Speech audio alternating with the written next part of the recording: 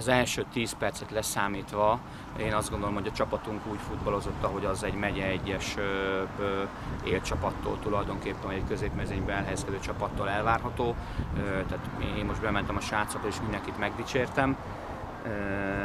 2-0 után nagyon nehéz, vagy 0-2 után nagyon nehéz futballozni és elbírni azt a nyomást, amit, ami, ami ilyenkor a csapatra nehezedik. Én azt gondolom, hogy ezt megugrottuk minimálisan azzal, hogy, hogy ki tudtunk egyenlíteni.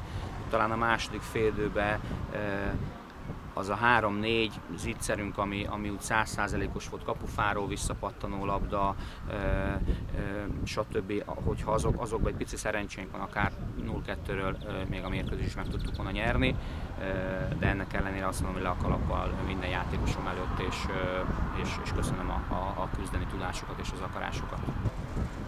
Igazából szerintem reálisnak mondható eredményt értünk el, egy nagyon jó erőkből álló héhalom ellen. Egyetlen egy dolog miatt van hiányérzetem, hogy az első félidő utolsó percében kaptunk egy gólt. Igazából jobb lett volna nyilván, hogyha 2-0-al tudunk bemenni a szünetre. Hát nem így alakult. A második félidőben nagyon ránk jött a hialom, széthúzták a játékot. Olyan érzése volt, mintha egyel többen lennének, de a játékosok emberfeletti teljesítmény nyújtottak.